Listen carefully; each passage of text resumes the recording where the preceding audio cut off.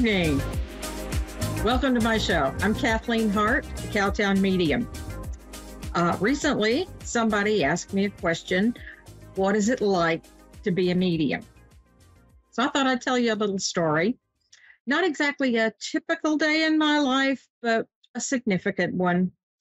Um, a few years ago, my mother fell and broke her hip and her arm. She went into the hospital for surgery for repairing these bones, and she was not recovering well. I got a call on a Sunday morning that I should come down to the hospital to see her.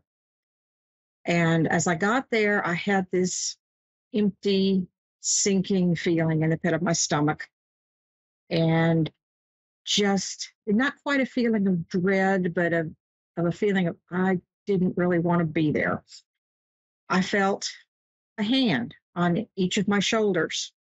And I realized that on one side it was my dad, who was no longer with us, and my mother's father, granddad I'd never met, but felt his presence a lot. They were each there to support me.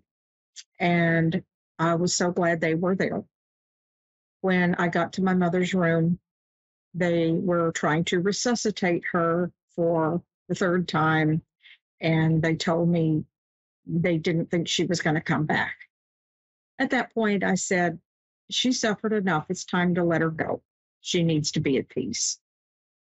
At that point, I, I spent a few minutes there in the room with her to say my goodbyes and then went on to connect with family, make phone calls, let everybody know what was going on, and to just have a little time to compose myself while I was sitting in the waiting room, waiting for the chaplain to come in and talk with us, I I had this interesting sensation of kind of a tingling all over.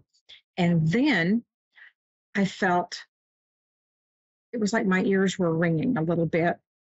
And I heard a voice in my head that I instantly recognized as my grandmother, my mother's mother. And I heard her say, Kathy, Kathleen, she's with us. My grandmother is the only one that ever called me like that. That was a name only she called me. And when she really wanted my attention, that's how she said it.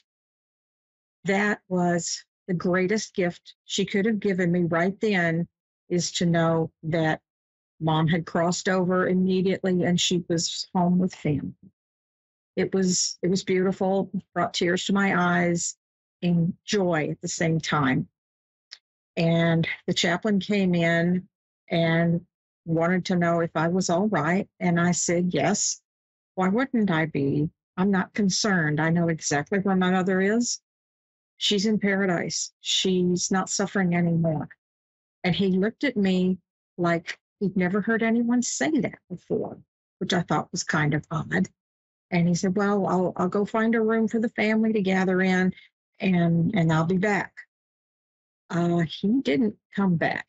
It was kind of odd, but I think he just didn't know how to take what I said. I don't think he gets that kind of a response very often.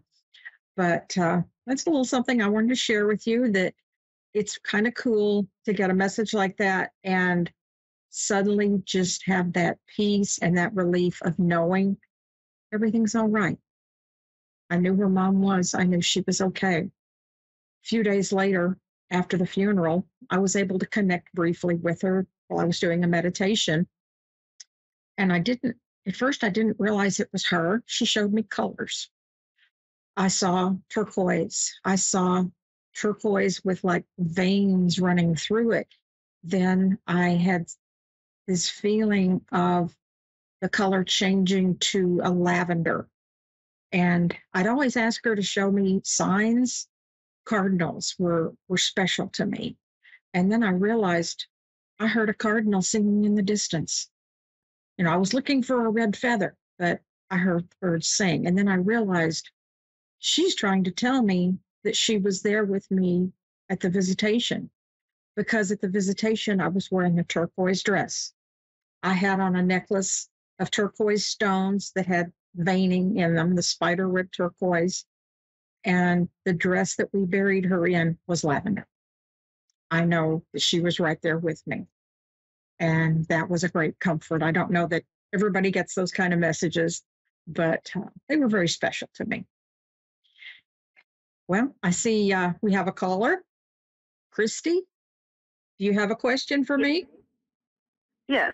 Um, I'm sure you get a lot of these.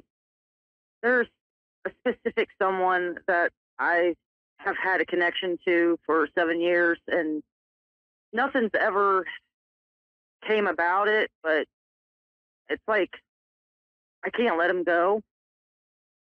And I just didn't know if there is going to be a future or I just, it's complicated. Okay. So this is a, a relationship you're currently in. No, we're we just it's never been a relationship. It's just there's always been a connection between two of us, and nothing's ever came about it. Okay. Is this someone you are in touch with frequently or you see only occasionally? Occasionally, Occasionally. Okay.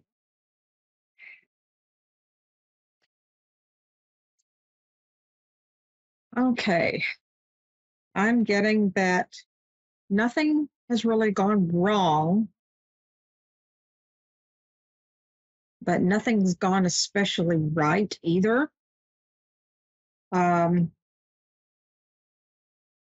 you know, look deep inside and see what your heart tells you. You might be able to pursue a relationship here, but I have a feeling it's not going to be what you'd like it to be. This is something you'd have to put a lot of energy into, and I'm I'm not really feeling that it's going to be reciprocated. yeah, I'm thinking this this is a friendship and it's probably not going to be a lot more. But you know, trust your heart. Keep in touch. I don't think that's a, a bad thing. It's you know, you can't have too many friends. But I don't I don't really see it going anywhere. Does that make sense? yeah. I can understand. He's going through a Mm-hmm. lot right now. Mhm. You have another question? Mm. No, not really. That was only my main concern. hmm Any big changes coming up for you? Mm, possibly a job change. Um, just been working on this house that I've been renting.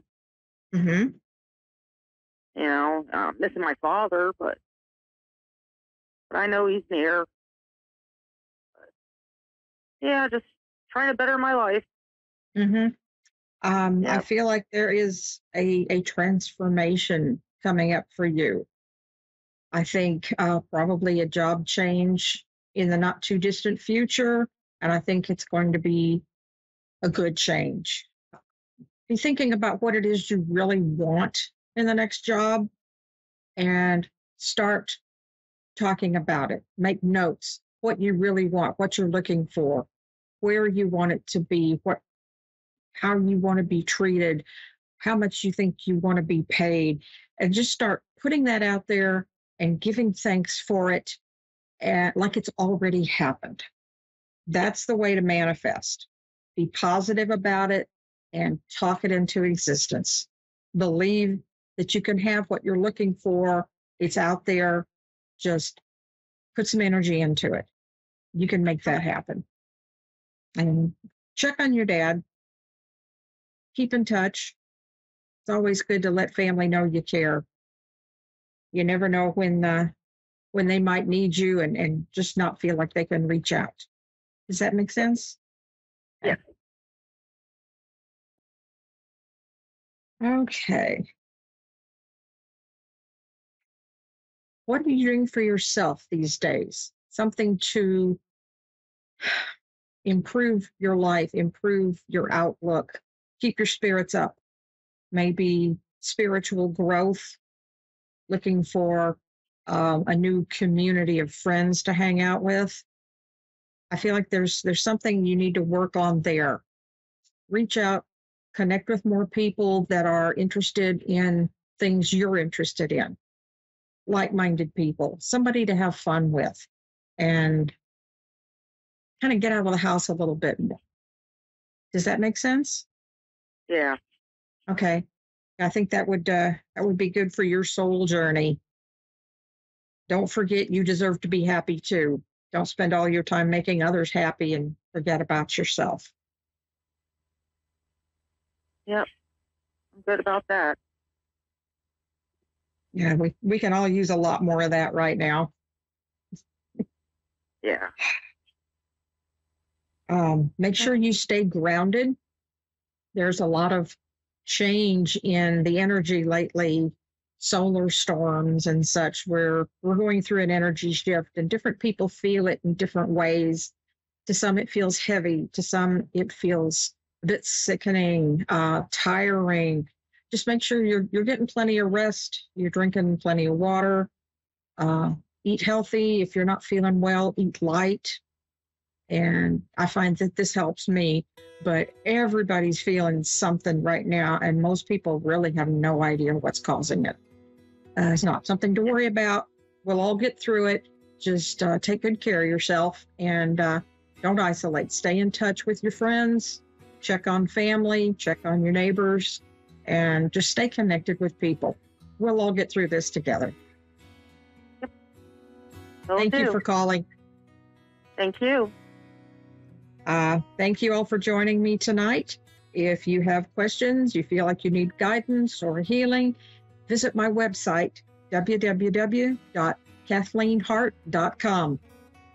You can get a little bit of my story there and, uh, and see a little bit more about what I do. I would appreciate it.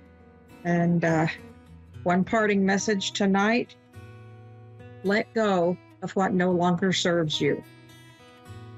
It's time to shed the emotional baggage and move forward. One foot in front of the other.